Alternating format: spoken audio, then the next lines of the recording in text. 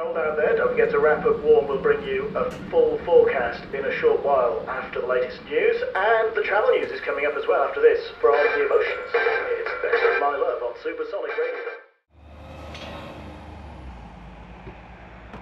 Travel news. The M61 southbound has been reduced to a single lane because of an accident at junction 7.